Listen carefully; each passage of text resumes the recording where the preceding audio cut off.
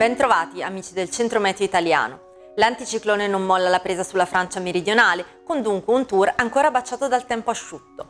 Non ci sono quindi preoccupazioni sotto il profilo meteo per l'attesa tappa di sabato 20 luglio, quando il gruppo dovrà affrontare il Tourmalet, dove posto l'arrivo ai 2115 metri. Lungo tutto il percorso il tempo rimarrà stabile con cieli poco o parzialmente nuvolosi, mentre il caldo verrà attenuato salendo in quota dove le temperature potranno scendere fino a 12 gradi.